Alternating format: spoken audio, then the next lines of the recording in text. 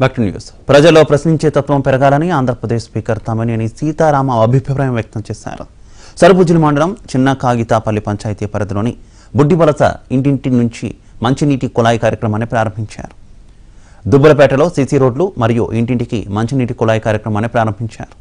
ఆంధ్రప్రదేశ్ మొత్తం ప్రతి ఇంటికి మంచినీటి కుళాయి పథకం జల జీవన్ మిషన్ ద్వారా చేపట్టామని ఈ సందర్భంగా అన్నారు. ఇక్కడ జన్మభూమి కమిటీలు లేవు. అనుకోవడానికి కొట్టుకోవడానికి లంచానికి స్ట్రైట్గా ముఖ్యమంత్రి లబ్ధిదారుడే అమ్మఒడి జగన్మోహన్ రెడ్డి అమ్మ.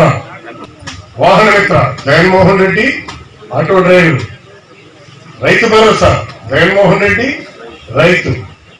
జగన్ విద్యార్థి ఉన్నారు జగన్మోహన్ రెడ్డి స్టూడెంట్. ఈ విధంగా స్ట్రైట్గా మధ్యలో రెండో చేయి కాపడానికి లేదు. అవినీతికి ఆస్కారం నిజాయితీ కలిగినటువంటి పాలన ఇస్తున్నారు.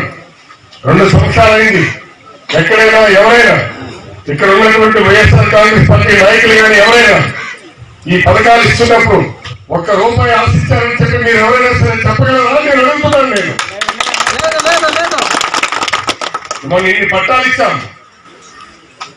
ఎంతో పారదర్శకంగా జరిగింది. ఇంకా ఇల్లు ప్రతి ఒక్కరికి పట్టా ఇస్తాం ఇల్లు కట్టిస్తాం. తొంభై రోజులు గడువు ఇచ్చారు.